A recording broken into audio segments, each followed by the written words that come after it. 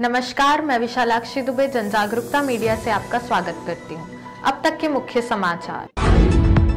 पाकिस्तान में 10 अरब डॉलर की हाई स्पीड रेल परियोजना शुरू करने जा रहा चीन। चीन से निपटने के लिए भारत को है थर्मो न्यूक्लियर बम की ज़रूरत।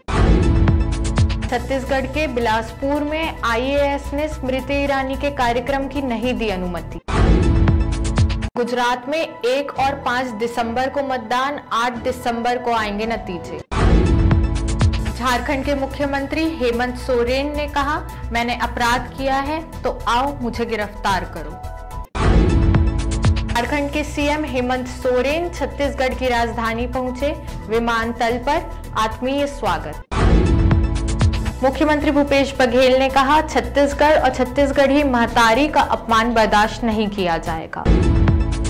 छत्तीसगढ़ में राज्योत्सव के तीसरे दिन बागदोई शिखला नृत्य का प्रदर्शन।